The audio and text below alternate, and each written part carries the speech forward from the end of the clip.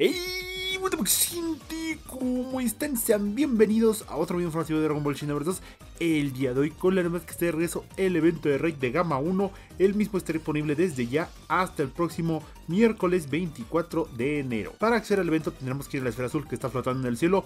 Todas las recompensas del evento están en la descripción del video. Recuerden que por obtenerlas todas tendremos que hacer unos 50.000 de daño a Gama 1 ¡Ey! Te invito a seguirme los viernes a través de Twitch y los martes a través de YouTube Donde hacemos directos, donde jugamos con ustedes y pasan los momentos más divertidos que jamás verás en tu vida. Y también que te unas a la mejor comunidad en el Discord oficial de la Academia de Rascali. Sin más, espero este video les haya informado. Yo soy Rascali y nos vemos a la próxima.